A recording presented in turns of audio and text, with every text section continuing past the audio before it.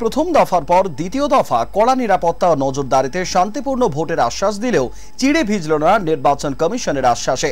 আটকানো গেল না শান্তি একদিকে চোপড়ার ধুন্ধুমার পরিস্থিতি, অন্যদিকে একাধিক জায়গায় বিক্ষিপ্ত অশান্তি। বৃহস্পতিবার দ্বিতীয় দফায় ভোট গ্রহণ হয় উত্তরবঙ্গে তিনটি আসনে।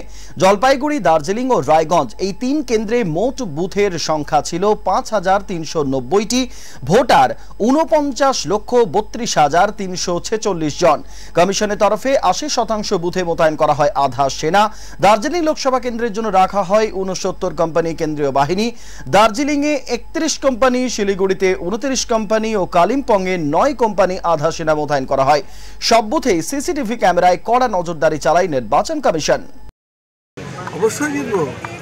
জেতার জন্য তো লড়ছি। অবশ্যই জিতবো এবং পশ্চিমবঙ্গে অনেক মিডিয়া অনেক সেভোলজিস্টের অঙ্কের একটা বিরাট পরিবর্তন হয়ে। আর পশ্চিমবঙ্গের মানুষের মধ্যে একটা তৃণমূল বিরোধী একটা বিরাট ইয়ে চলছে ওয়েব চলছে ওয়েব জিবি বিরোধী তো আছে এবং তৃণমূল বিরোধী ওয়েব চলছে এবং ভোটের তার রিফ্লেকশন खुशबू की राजनीति को शांति बनाया था अभी तक शांति है और इस बार पीस एंड फेयर इलेक्शन होने जा रहा है राज्य में तो ये पहली बार ऐसा होने जा रहा है और I am very much happy with this election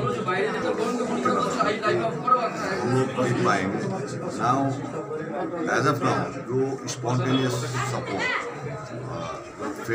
নির্বাচনের নামে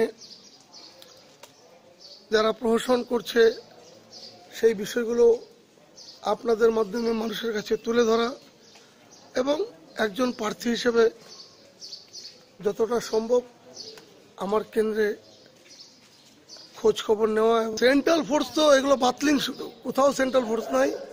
আর সেন্ট্রাল ফোর্সকে ডিপ্লে করছে রাজ্য সরকারের পুলিশ অফিসাররা। সেন্ট্রাল ফোর্স নির্বাচন কমিশনের বাতলিং বাতলিংবাজি ছাড়া কিছুই না।